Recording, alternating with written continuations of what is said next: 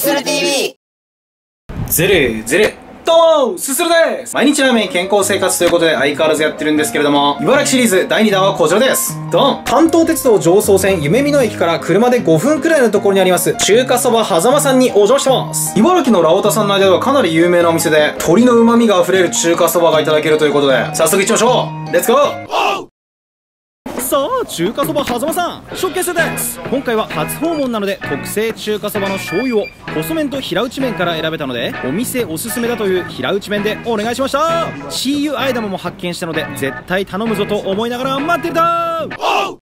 こちらが狭間さんの特製中華そば醤油です。てほーい。シンプルで美しい鶏醤油ラーメンのビジュアルで醤油色のスープから透けて見える麺もうまそう。こりゃ平打ち麺で正解でしょってことでいただきます。まずはスープから一口飲んでみるとピューイあっさりな飲み口でじんわりしみる鶏の旨味と優しい醤油味が絶妙なバランス。アンバランスといえばご機嫌ようの前説ですがバランスといえばこのスープです。さあ続いて火が通る前にレアチャーシューをパクリ。レア感からなる肉のうまみを受けたすするは冷静と情熱の狭間でただただこのレアチャーを噛みしめるしかありません。ではいよいよ選んだ平打ち麺をリフトアップしてよっしゃすする。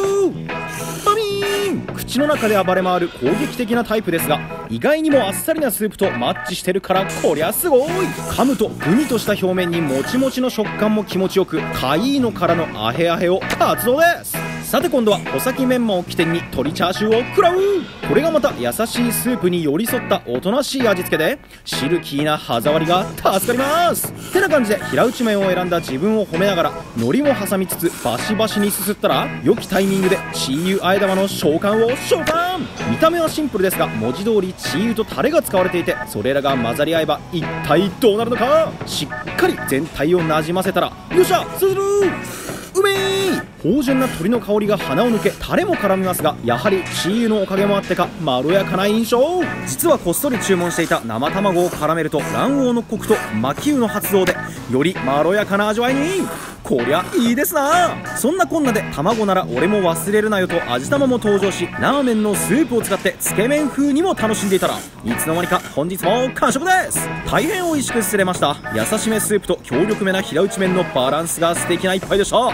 それではごそれはい、ごちそうさまでした。いやー、狭間さんに行ってきたんですけれども、うまかったですね。あっさりめで鶏の旨味をじんわりと感じるスープに、細麺か平打ち麺か選べるんですけど、お店もおすすめしている平打ち麺がね、やはりかなりいい感じのバランスでしたね。一番最初に食べたレアチャーシューのジューシー感も半端なくてすごく美味しかったです。スープは澄んだ醤油色をしていて、飲み口はかなりあっさりめで、もうちょっとインパクトが欲しい感もあったんですけど、やはりじんわりと美味しかったです。平打ちの麺がめちゃうまで、口の中でブルンブルンと暴れ回るもちもち食感のうまい麺でした。あのあっさりスープともちもち麺が意外にもマッチしてすごくいいバランスでしたね。あえ玉は打って変わって細麺なので、2種類の麺を楽しめるという意味でもね、あえ玉は結構いいかもしれないですね。辛いメニューなんかもね、結構気になるので、また行きたいと思いました。ごちそうさまでした。それでは、するの公式キャッチフレーズ、中華そば、狭間さん。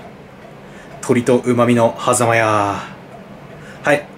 それでは、するの公式キャッチフレーズ、狭間さん。